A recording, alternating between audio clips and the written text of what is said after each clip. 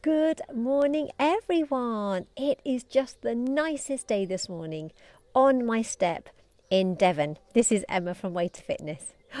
It's nine o'clock and I think it's Tuesday. I only know it's Tuesday because it was Monday yesterday. Who's there? Who's joining me on my step this morning? Give me a wave.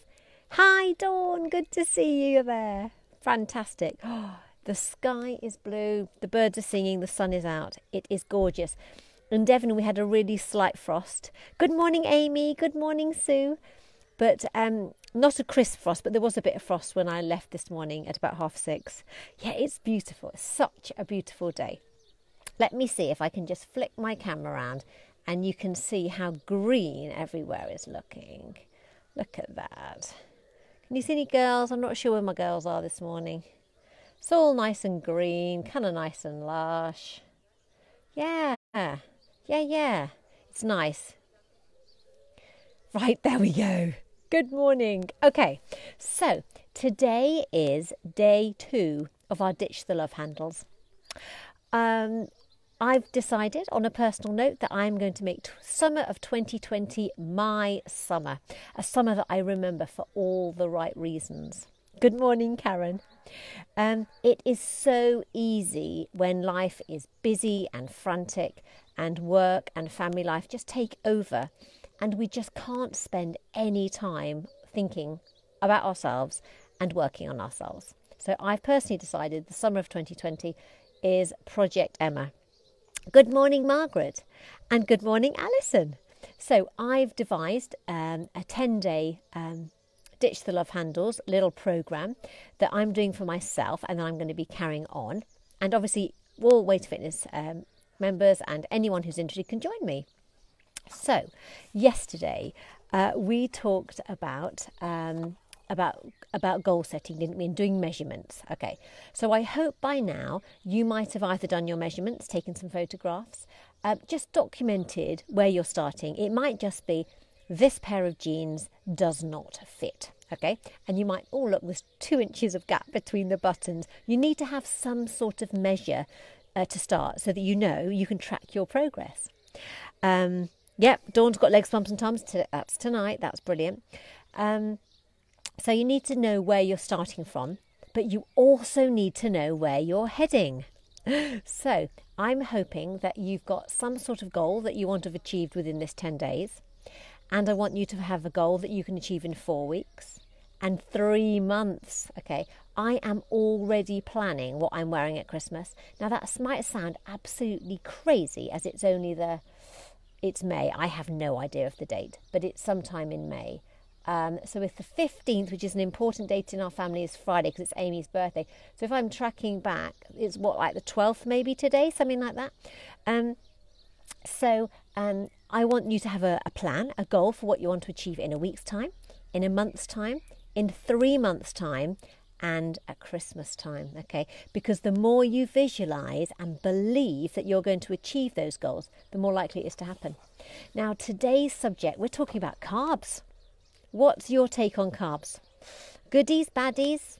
What do you reckon? Carbs, carbohydrates. Give me a few words about what you think about carbs. I'm listening. So, hopefully, you're tapping away something that you think how do you feel about carbs? Like them? Love them? Tell me. I want to know. And then I'll tell you what I think. Okay, so the question is carbs. Okay, you know, it's not a simple answer.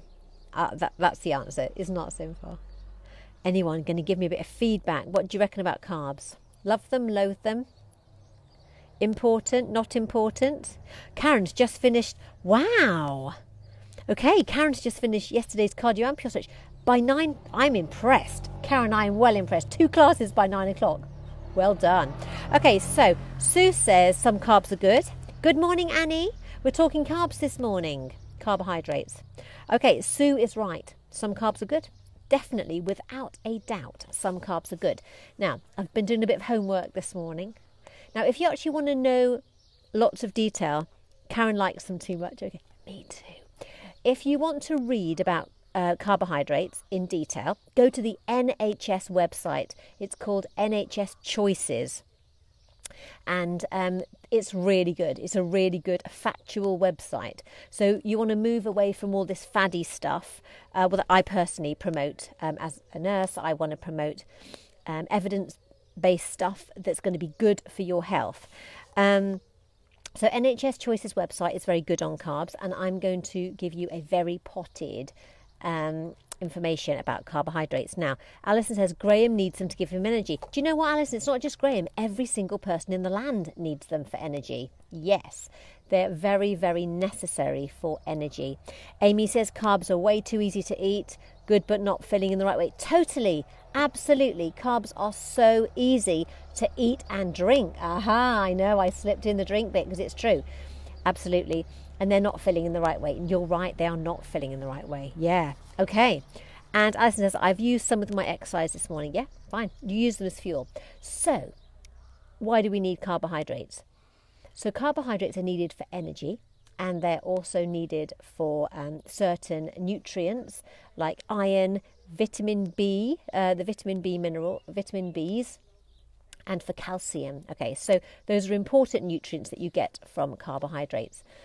Broadly speaking, they can be split into sugars, starch, and fibre. Okay, so starch and fibre are quite intertwined, aren't they? Um, so when you when I say carbohydrates, some of you might have just thought, oh, potatoes, or oh, bread. Some of you might have thought, oh, wine, or biscuits. You would have been right on all counts. Okay, um, so let's talk sugars first. So when you go to the NHS Choices website, they talk about free sugars, they talk about other sugars, and obviously. Um, from a waistline and a tooth decay point of view and a prevention of type 2 diabetes, we want to limit the type of free sugars we eat. And free sugars are things like cakes, biscuits, chocolate, sweets. Um, but also things like honey and marmalade and jam. They've got a lot of sugar in them. Okay. Um, free sugars are in things like fruit and vegetables and milk. Uh, they count towards your total sugar intake, but they're much less of an issue. Okay, because of the quantities we eat them in, um, it is so easy um, if you're not careful. If you're a sugary, sweetie sort of person, you can munch your way through a bag of wine gums and you look at the amount of sugar you've just eaten. I've done it myself. Um, jelly baby. I remember when I was training for a half marathon, I think I was the only person that put on weight training for a half marathon because I used to reward myself with bags of jelly babies. I thought I've just run 10 miles, I can eat a bag of jelly babies. But you see how much sugar is just, you know, anyone who has jelly babies for hypos, which are blood um, low blood sugar if you've got type 1 diabetes. You know, you only have a couple and it brings your blood sugar up. You don't eat the whole bag, Emma. Anyway, we live and learn, don't we? So there's sugar, as you know, in all sorts of things like cakes, biscuits, sweets, and chocolates. So the other type of carbohydrates are starches. So starchy carbohydrates are found in things like bread, rice, pasta, spaghetti. And they are so important for your digestive health. Lots and lots of pe- people say to me that the most common thing that they have problems with is constipation. Yep, it's really uncomfortable going to the loo and lots of us need to eat more fibre. So, so when you're eating carbohydrates, choose whole grain varieties, stuff with um, fibre in them. So we're talking granary or wholemeal bread, we're talking brown rice, brown pasta, um, vegetables with skins on, so like jacket potatoes with their skins on, rather than white potatoes that you've peeled and put the best bit, the fibre, into the recycling. I could do a wallpaper on my phone that says, just don't eat the whole bag. Absolutely, Amy. Don't eat the whole bag. Um, good morning, Denise. So, you need to be choosing whole grain varieties of those things we talked about. Remember that brown bread is just coloured white bread with they've just added caramel to make it look brown. So that there's no extra fibre in brown bread. It needs to be wholemeal or granary.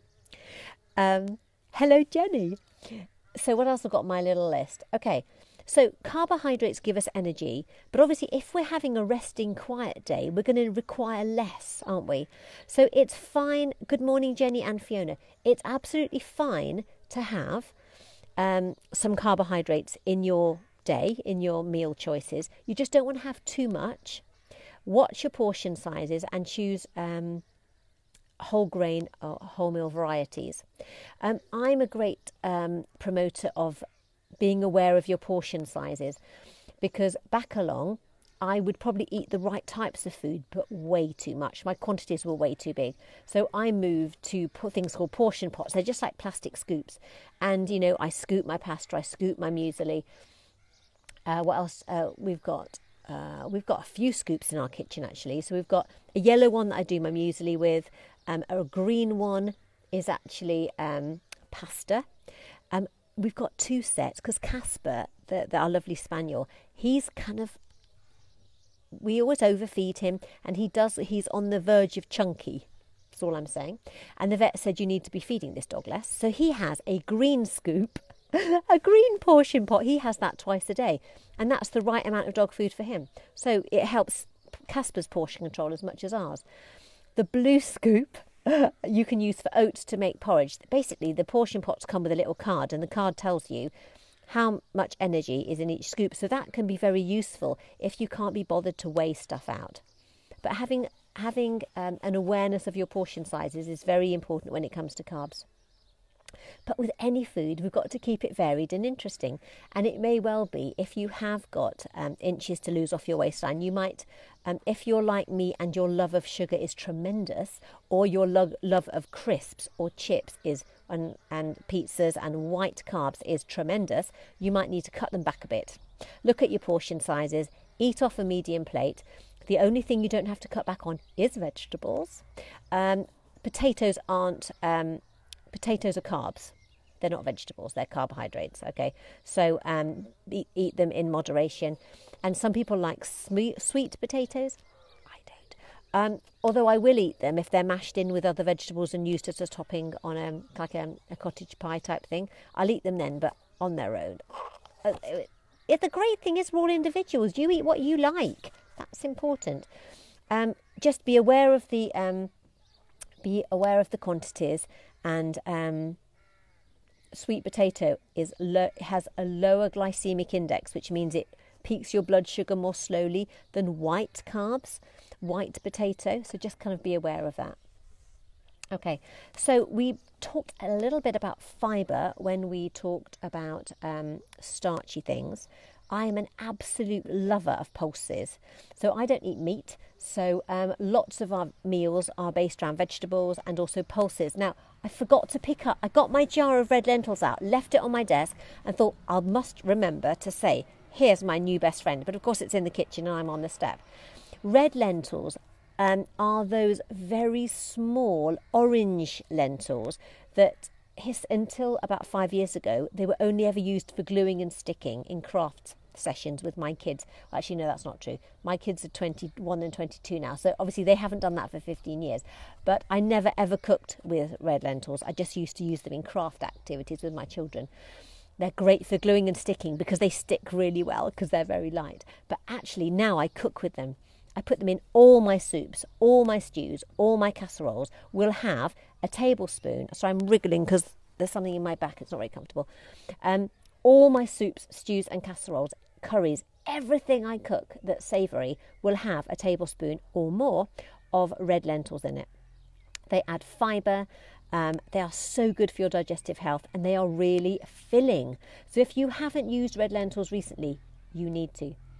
Um, if you're not um, an experienced eater of pulses, I would just say eat them, um, add them to your diet gradually because they can give you wind and they could make you feel a bit bloated if you went from nothing to three times a day. All right, so um, just eat them, uh, add them slowly. Um, things like I don't like hummus. I know lots of people love hummus. I don't like hummus. That's made from chickpeas, so that's good for you. Um, but eat it in moderation because often it's used. They've added quite a lot of fat to it. Um, but I don't think you have to add lots of fat if you make your own. I've got members who make their own um, hummus. It's garlic and chickpeas and stuff, and some people absolutely love it. What's great, we're all different. Um, so today I want you to think about what carbs. Uh, so we've talked about food. Ah, we haven't talked about booze yet. We are talking about alcohol a different day, but we need to comment about it today really because there's a lot of sugar in stuff like wine and cider and beer, isn't there? Now, um, it's biscuits for me. but it might be wine for you. It, we're all different, and that's wonderful that we're all different. But do have a think about the carbs you regularly drink. It might be sugary drinks. It might be, you know, kind of like, I don't know, lemonade type stuff. Um, apple juice, fruit juices. It could be beer, cider, wine, whatever. But obviously, there's a certain amount of sugar in all that too, and it depends on the quantities you drink. If you have a small one, that's absolutely fine. You drink two pints, obviously, a lot more sugar in that. So, just today, I want you to think about the carbs you are eating and drinking. Is there any way you can tweak them? How can you make them just a little bit more healthy for you? So, we're talking portion sizes, we're talking about um, are they whole meal? Um, I found in Tesco's last week you can get wholemeal couscous. So that's good. And that recipe we put in the newsletter this week of Kian, who's my son. Um, he found this recipe. I think it was a he mixed two recipes because that's what we do in our house. It was a BBC Good Food recipe for couscous, um, and we put that in the newsletter. So if you haven't made it yet, do. It's absolutely delicious. And we bought wholemeal couscous that we could use in that recipe. It's got vegetables in it. It's got really nice, tasty spices in it too. Oh, Lorna, that's brilliant. Lorna says my hummus I made yesterday was so garlicky. It was definitely good to keep to keep everyone away. Social distancing, I bet, Lorna. I don't know. I don't really like cold, garlicky things. I like hot garlicky things, but I don't like cold garlicky things, which is why I've never really got into hummus. But I know lots of people love it. So that's what I'd like you to do today. Look at what you're eating and drinking from a carb point of view. Um, if you're not sure what to do next, go to NHS Choices website click it, you know, choose carbs, read about the different types of carbohydrates. Um, I don't think we want to make this too complicated. Um, you need carbohydrates for energy, but lots of us eat too many free sugars, and the free sugars are the things like cakes, biscuits, sweets, and also um, some of us eat white carbs, uh, which are not so great for your waistline. That's what will stack up those love handles, and they're things that you will need to cut back on if you're currently eating too much. If you're unsure, if you want any advice, drop me a message and I can reply. So today is Tuesday, as we've said. It's keep moving for me. Seated exercise at 10:30, and we've got legs, bums, and tums at 6:30 tonight. So I really hope you're going to be able to join me for that. We've got a hog session on Thursday at half past 11. If you want to do that, it's just an hour session. You do need a hog, um, and that's uh, £5. And I'm sending out the Zoom invitations this afternoon. So do let me know if you want to do that hog session. And I wish you the beautifulest, bestest Tuesday ever. Um, I hope you've got nice weather. I don't know where you are. Lots of my Way to Fitness members are in Devon, uh, but I know lots of other members aren't. So, so keep in touch, enjoy your day, and make summer 2020 your summer. Good morning, Lou. I've just finished, but you can watch it on the catch up. Bye, everyone.